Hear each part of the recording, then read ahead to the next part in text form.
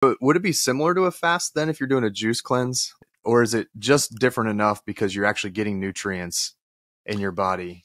It's a little bit of that? different difference because your body doesn't go into ketosis, right? And so Okay. you know, fruit still has the natural sugar in it. Yeah. And so your body isn't in, in ketosis, but it's it's still in that starvation mode, right? You're not you're not eating protein and it's, you're gonna lean out naturally, but you're injecting nutrients as opposed to nothing.